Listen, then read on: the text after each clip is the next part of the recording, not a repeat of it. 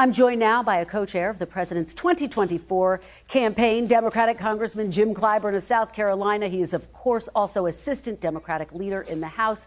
Congressman Clyburn, welcome back to Meet the Press. Thank you very much for having me back. Let's delve into some of these numbers. Our poll shows that President Biden is in a dead heat with former President Trump, who has been indicted four times. Why is that? Well, I think the American people are focused more on style than substance, and that is the way it is in politics.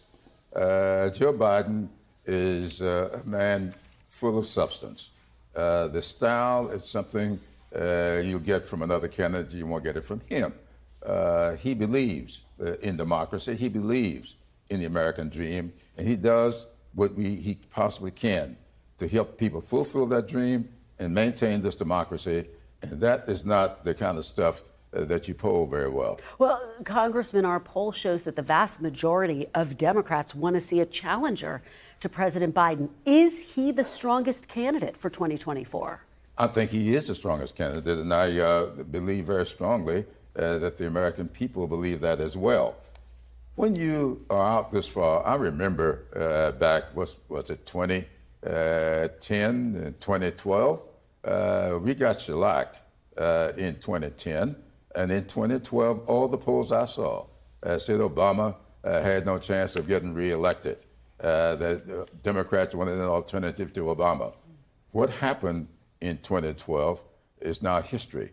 He won very comfortably. And I think the thing, same thing will happen here. Well, as you know, in a close election, every single vote counts. And Absolutely. as we laid out, his support among some of his core groups, African Americans, Latinos, young voters, has dropped. How do you make sure they don't stay at home, Congressman? They will not stay at home. Uh, we understand what's at stake here. Uh, the problem with me is I spend too much time studying history, and I see what's going on here. I know uh, where the playbook uh, came from uh, that resulted in January 6. It came from the 1876 elections, almost exactly.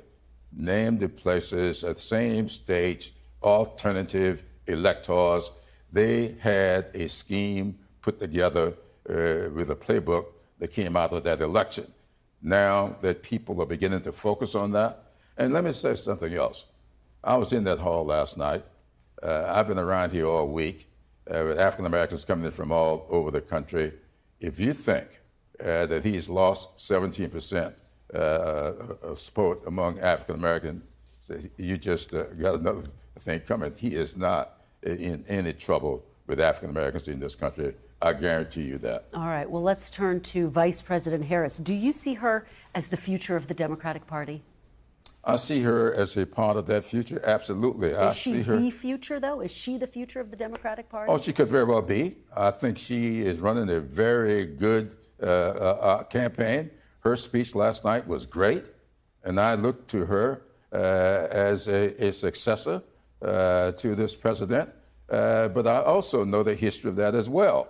It's not a given. You don't automatically move up. She'll have to compete going forward with whoever may have dreams and aspirations. And I think she will acquit herself well. Well, I know that you are saying you don't look at the polls too much, but our poll does show her favorability is actually lower than President Biden and even than former President Trump. Why do you think she's not resonating more with voters? What do you think the issue is? Uh, because when you compare the first uh, woman of color and first woman uh, to be vice president of the United States, and compare that to all of the history before, you will get that.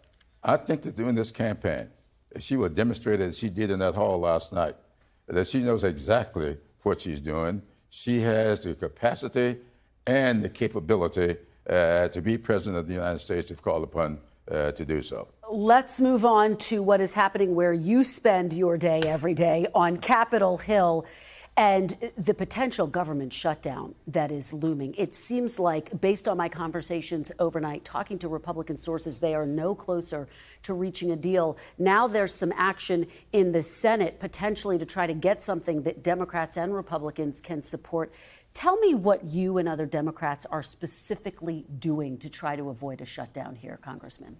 Well, we believe, we Democrats believe very strongly, it's when you make a deal, you live by it. And the Speaker made a deal uh, to what the budget would look like. Democrats agreed to it. House Democrats, uh, Democrats in the Senate, even Republicans in the Senate agreed to it. They have marked up uh, to those top lines. And then all of a sudden, McCarthy seems to be backing away from the deal because five or six people on his side of the aisle seem to be uh, calling the shots. The tail wagging the dog is not the way you do this. Understood, but don't Democrats, given that it's a potential government shutdown, bear some responsibility? Is there any conversations? Are you having conversations behind the scenes to try to keep the government open? Well, Hakeem Jeffries is he is a great leader, and I think he's doing exactly what needs to be done uh, to keep the lines of communications open. As we sit here today, do you think the government will shut down? Is it a foregone conclusion at this point? It is not a foregone conclusion. And I don't think we'll get to that point. I certainly hope not. Let's talk about Senator Menendez, obviously indicted, as we've been talking about throughout the hour. Should he step down? I'm leaving that up to Democrats uh, in New Jersey. They have uh, a Democratic governor. But you're a uh, Democrat, yes. Congressman. Doesn't this cast a cloud potentially over your party at a critical moment? Should he step I down? I don't think so. We have to compare apples to apples. And, and when you compare apples to apples, I don't think you uh, compare a United States senator to the President of the United States. That's a big, big difference. Despite the fact that you have a long list of, Repub- of Democrats who are now calling on him to step down, despite the fact that he's been accused of taking bribes to help Egypt, again, innocent until proven guilty, but these are serious allegations. They are serious, and I've read them, and uh, I hope they are not true. I hope there's an explanation. He says there is. I would like to hear it, but I'm going to leave it up to him uh, and uh, his friends among the Democrats in New Jersey. Let me ask you about the impeachment inquiry that is going to unfold this week on Capitol Hill. I know that you and your fellow Democrats have called this pure politics, but big picture, they're trying to see if there's any link between Hunter Biden and the president and Hunter Biden's business dealings. Are you comfortable with a family member profiting off of their last name in this town? Well, you know, we all to some extent live so that our children uh, can be proud of the name that we've given them. I have three daughters, and I want them to feel very comfortable uh, being a Clyburn. And I do know uh, that that is very, very important uh, for going forward. Now, that doesn't mean that I want them to do things that are unseemly uh, to the name. I do want them uh, to use the name to their benefit. And yet, President Biden, according to one witness testimony, was on the phone 20 times with Hunter Biden's business associates. It was described as pleasantries, but is that appropriate? Well, his associates said they were pleasantries, but I think it's appropriate to be a father to your son. And if your son uh, is having a problem, and we all know the history of the problem uh, that Hunter has with addiction, and he is being a father to his son, you don't impeach a man for being a father to his children. Congressman Jim Clyburn, thank you so much for being here. Always thank you very much for having with me. You. We really appreciate it. Thanks for watching. Stay updated about breaking news and top stories on the NBC News app or follow us on social media.